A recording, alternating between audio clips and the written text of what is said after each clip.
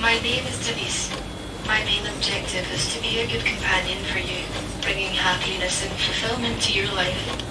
You've probably seen Aria and Melody all over YouTube.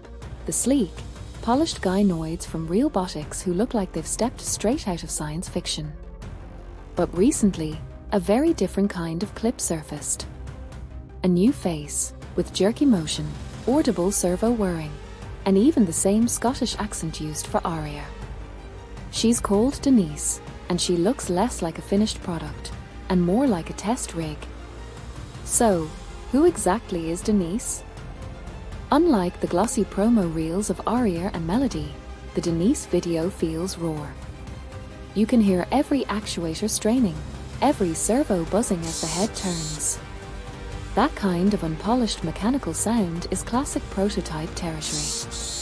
Realbotix's public-facing robots are designed to look effortless. Smooth silicone skin, carefully tuned motion, and voices tailored for charm. Denise, by contrast, shows the messy, mechanical reality of what's under the hood. Realbotix has a history of evolving its characters. First came the Harmony app, a virtual AI companion. Then Aria and Melody, their first physical heads that blended silicone sculpting with expressive robotics. Denise seems to be the next step, a development head or test bed for future designs. She isn't listed on Realbotix's website, and there's no official product announcement. That strongly suggests she's still an internal experiment, not a market-ready companion. And that's what makes Denise fascinating. For once, we're seeing behind the curtain. Every polished gynoid we admire started life like this noisy, imperfect, a little uncanny.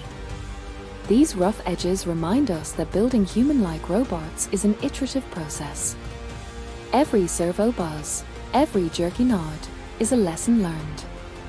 Denise might never officially launch, but she signals that Realbotix is still experimenting, still pushing toward more lifelike companions. So whether Denise becomes the next Aria or remains just a prototype, she represents something vital, the hidden work it takes to bring sci-fi into reality.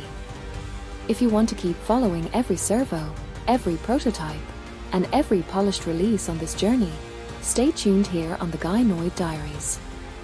And of course, let us know what you think in the comments below.